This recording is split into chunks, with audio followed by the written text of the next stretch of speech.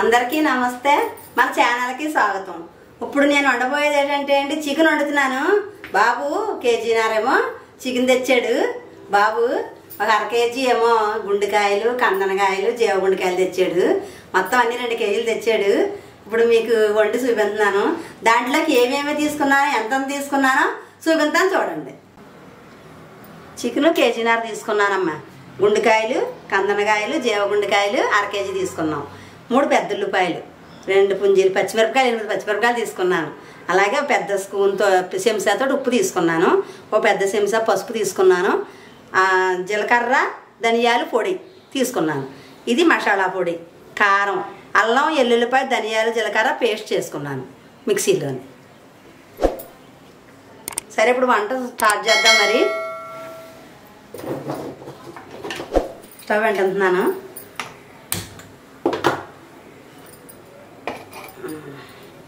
అయితే వీటెక్కింది ఇప్పుడు నూనె పోతున్నాను చూడండి అమ్మా. దాకా వీటెక్కింది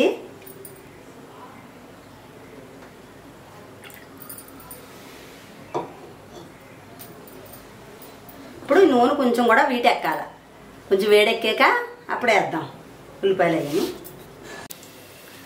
నూనె అయితే మరిగిన చూడమ్మ. చిటపట్లు ఆడుతుందా చూడండి. ఇప్పుడు పచ్చిమిరపకాయలు వేస్తున్నాను నేను. అయితే ఇలా పచ్చిమిరపకాయలు వేసాను కదా ఇలా కొంచెంసేపు వేపుకోవాలి.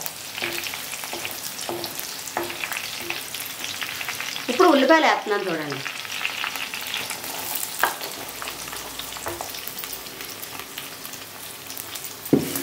ఇవి కూడా రెండు చుట్లు ఇలాగా కొంచెం ఎర్రగా వచ్చేలాగా మనం వేపుకోవాలి. ఒక ఐదు నిమిషాలు టైం పడుతుంది కదా ఇలాగ మనం జాయిగా నాలుగు వేపులు కలుపుకొని చిన్న మంట వేపుతున్నాం కదా మనకు కొంచెం లేట్ అవుతుంది.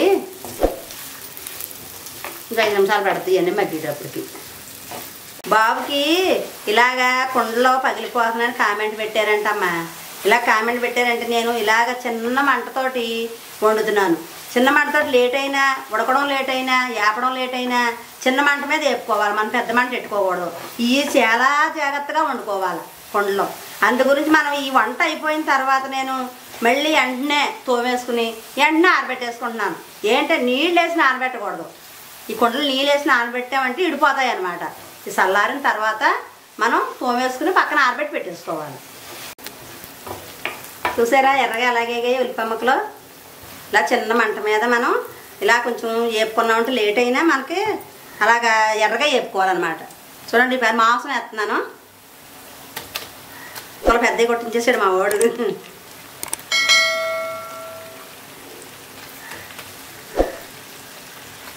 ఏదన్నా మనం పచ్చివాసన లేకుండా మనం ఎర్రగా కొంచెం వేపుకుంటేనే అమ్మ ఏదన్నా మనకు కమ్మగా ఉంటుంది రుచిగా ఉంటుంది కూడా అని మనం కంగారుగా చేసుకున్నామనుకో అవ్వదు పని.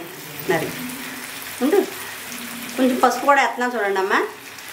పసుపు వేసుకోవడం వల్ల మనకి మగ్గుతుంది అనమాట అలాగా. కొంచెం ఉప్పు కూడా వేస్తున్నాను.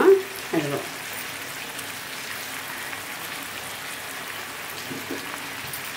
ఈ తర్వాత వేసుకుందాం అన్నమాట. కొంచెంసేపు ఈ మగ్గిన తర్వాత వేస్తాను.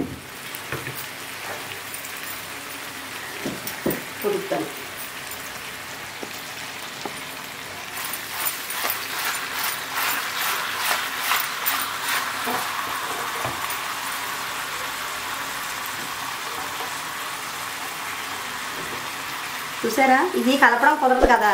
అందుకని నేను ఇలా కొలుపుతున్నాను అనమాట అడుగు మీద మీద అడుక్కొచ్చా చూసారా? ఈ పసుపు మనం ఉప్పు వేసిన వల్ల ఇది మగ్గి నీరు కింద వస్తుంది ఈ నీరంతా మనం ఇనికిన తర్వాత ఉన్నాయి చేసుకుందాం. అంటే కొంచెంసేపు మూత పెడతాను. అలా నీరు కింద వచ్చేస్తుంది కొంచెంసేపు మూత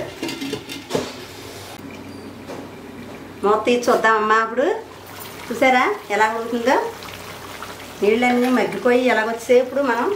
అల్లం ఎల్లుల్లిపాయ ధనియాల కర్రీ ఆడుకున్న పేస్ట్ చేస్తున్నాను అనమాట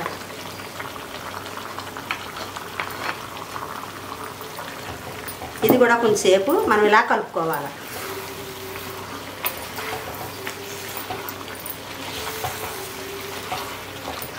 ఇప్పుడు కారం కూడా వేసేసుకుని మనం కారం కూడా వేస్తున్నాం చూడండి. ఈ రెండు వేసాం కదా కొంచెంసేపు ఇలా కలుపుకుంటే మనం మళ్ళీ రెండు నిమిషాలు అప్పుడు నీళ్ళు పోసుకుంటాం.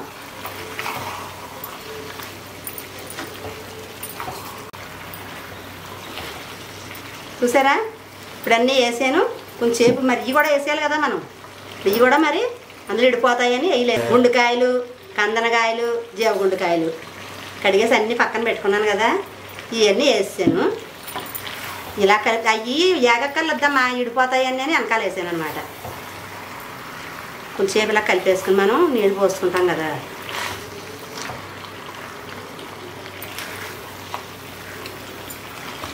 నీళ్ళు పోసేస్తున్నాం చూడండి అమ్మా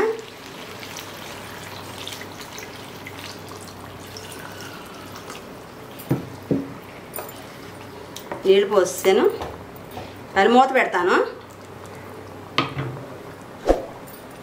మూత పెడతాను. కూర అయితే చూద్దామమ్మా. ఉడికింది ఇంకా లేదు? కూర అయితే దగ్గర పడిపోయిందమ్మా. మంచి గుమగుమలు ఆడిపోతుంది. ఇప్పుడు కొంచెం మనం ధనియాల పొడి జీలకర్ర పొడి వేసుకుంటున్నాము. చూడండి ఇదిగో. ధనియాల పొడి జీలకర్ర పొడిని. అలాగే కొంచెం మసాలా పొడి కొద్దిగానే.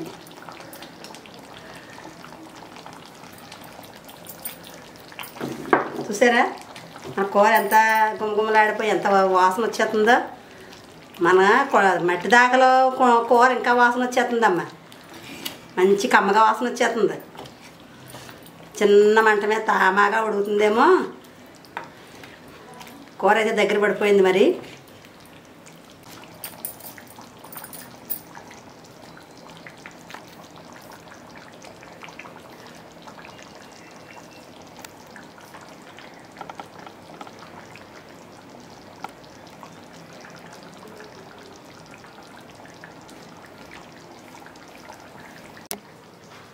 కూర అయితే అయిపోయిందండి మరి. ఇప్పుడు చికెన్ కూర మన మాంసం కూర అయిపోయింది. దగ్గర పడిపోయింది శుభ్రం కట్టేసాను మరి మన మాంసం కూర కనుక మీకు నచ్చినట్లయితే మన వీడియోకి లైక్ చేయండి షేర్ చేయండి సబ్స్క్రైబ్ చేయండి పక్కన బెల్ట్ చేయండి. బాయ్ బాయ్ మళ్ళీ రేపు కలుద్దాం.